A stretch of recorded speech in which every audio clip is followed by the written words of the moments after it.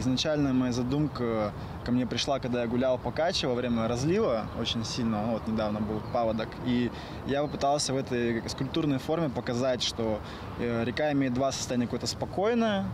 и какое-то неспокойное, и тем самым э, задав разный функционал в э, объекте.